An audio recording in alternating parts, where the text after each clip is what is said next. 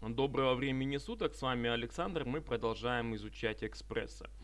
А, готовя сегодняшний урок, э, понял, что полностью объяснить каждый модуль экспресса возможно, если ты либо являешься разработчиком, либо очень хорошо разбираешься в программировании. Но так как я не отношусь ни к первой, ни ко второй группе, то оказывается разобрать каждый блок мне все-таки сложно. Э, я не скрываю, что за основу своих уроков я беру англоязычные курсы, и, к сожалению, э, та последовательность, которую показывают они, тоже не всегда ясна. Поэтому приходится просто иногда, скажем так, по факту повторить то, что показывают они. Но мы это будем делать с вами в русском интерфейсе. Итак, что ж, после такого длительного вступления давайте продолжим. Я переименовал сферы, чтобы нам было удобно. Вот э, красная большая сфера у нас будет голова, а зеленая хвост. Давайте создадим несколько дублей хвоста.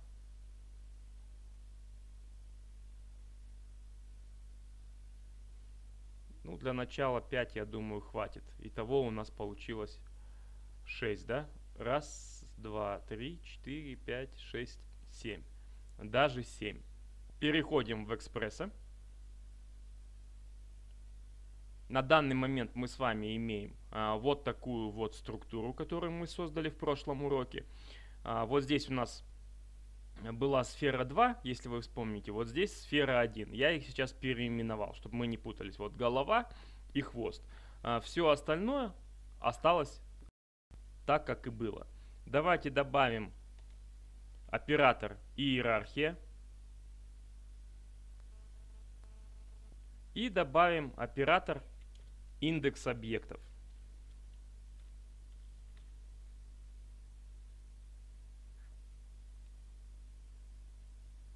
Перенесем его в экспресса. Давайте выберем нод и иерархия. И э, режим ссылки у него выберем абсолютная ссылка. Теперь э, выделим все объекты, которые у нас называются хвост – и сгруппируем их командой Alt-G. Давайте переименуем данный 0 объект, чтобы нам было понятно. Ну, назовем, скажем, хвостик. Отлично. Снова выберем нод иерархии. И ссылку заменим. Видите, у нас по умолчанию встала сфера 1 или голова. Мы сюда перенесем хвостик или же 0 объект. Теперь давайте соединим иерархию и индекс объекта. Отлично. А, выберем а, модуль хвост, вот сфера. И а, здесь нам надо теперь отсоединить. И добавить дополнительные порты на вход. Мы установим следующие порты. Это объект, и глобальная позиция. Координаты, глобальная позиция. Отлично. Теперь вещественный вектор соединим с глобальной позицией, а экземпляр от индекса объекта соединим с объектом. Давайте вот это вот все немножко опустим ниже потому что мы сейчас с вами будем добавлять еще несколько нодов. И чтобы мы не запутались. Отлично. А теперь мы с вами добавляем еще три нода. Это математика, добавить. А, давайте скопируем зажатым контролом. Так, вот так вот. Хорошо. Э, теперь один модуль у нас остается математика добавить, второй и третий модуль мы изменяем на умножить. Математика умножить и вот здесь вот тоже математика умножить. А, теперь смотрите внимательно, как мы будем соединять порты дальше. Данный модуль математика добавить мы соединяем с математикой умножить. Вот таким вот образом. И э, верхний порт на входящих мы соединяем с индексом объекта. Вот так вот. То есть вот тут происходит то, о чем я и говорил, что тяжело это все объяснить, приходится показать только по факту, а, как создается данный блок большого программирования. А, давайте продолжим дальше. А, давайте мы сейчас для удобства вот одну математику умножить, сдвинем вот сюда вот вниз. И ее вот мы соединяем выход с блоком памяти. Вот уровень памяти. Так, плохо видно.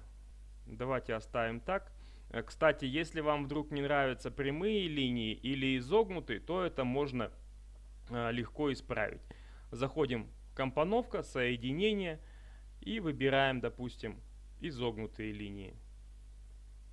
Или же такие, какие вам нравятся. Продолжаем.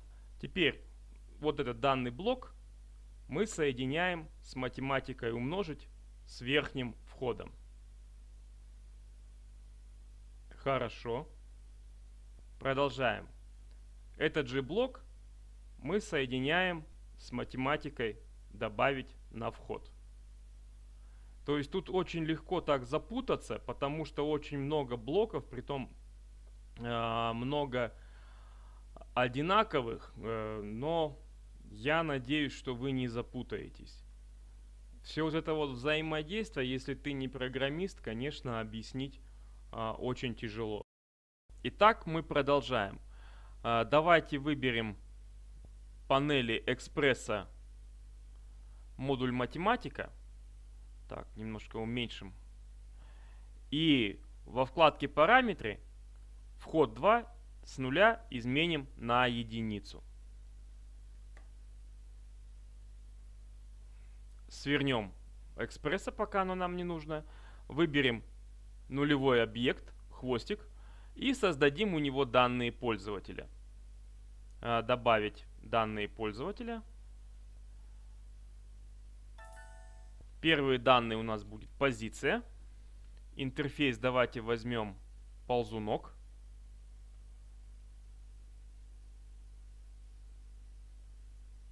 Единицу выберем вещественную. Минимальное значение поставим а, минус 100.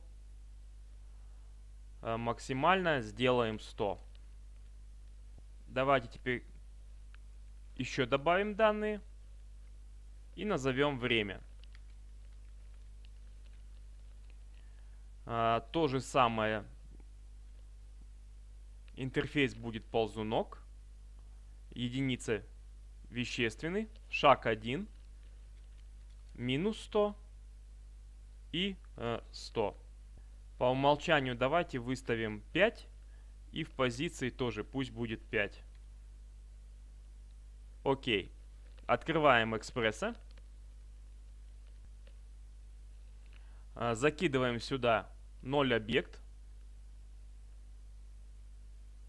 Давайте его немного все это расширим. Э, расширим 0 объект. И у него на выходе поставим данные пользователя. Время и э, позиция. А теперь давайте э, позицию у нулевого объекта хвостик соединим с математикой умножить на входе. И э, время соединим с нижней математикой, э, которая идет у нас к памяти. Свернем экспресса. И давайте посмотрим, что у нас получилось. Вот мы двигаем основной объект. И как вы видите, э, все остальные шарики за ним двигаются подобно змейке. Э, давайте выберем 0 объект и попробуем увеличить эти значения. Так. Позицию давайте лучше наоборот вот уменьшим.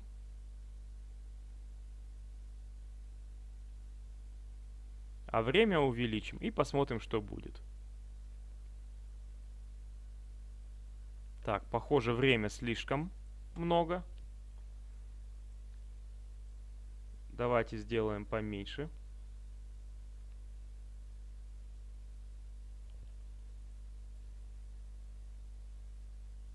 Так, тоже слишком большая задержка. Давайте сделаем 10.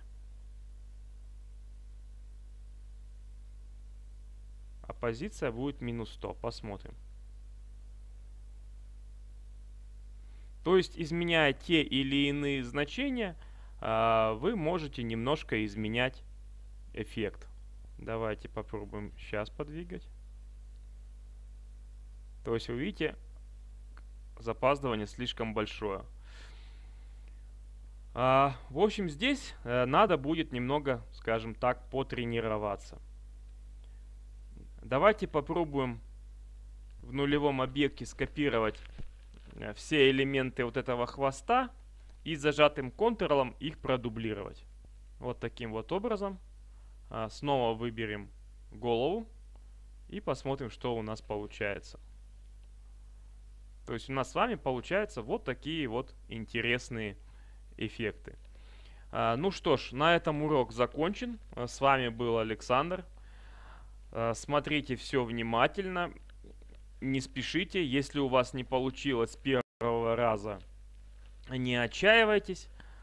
Пробуйте снова и снова, и у вас обязательно все получится.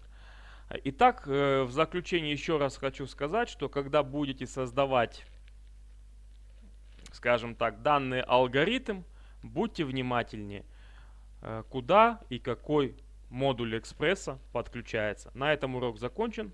Всем пока.